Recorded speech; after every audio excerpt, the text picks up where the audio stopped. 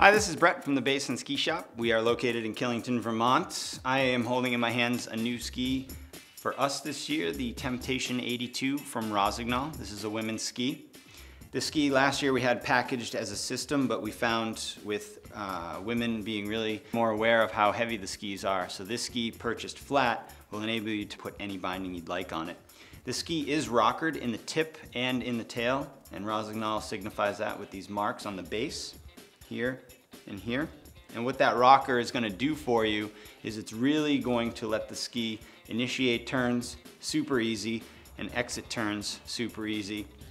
And in the springtime, or if you're in the woods, or if the snow is mixed, that rocker is gonna help you plow through that considerably easier as well.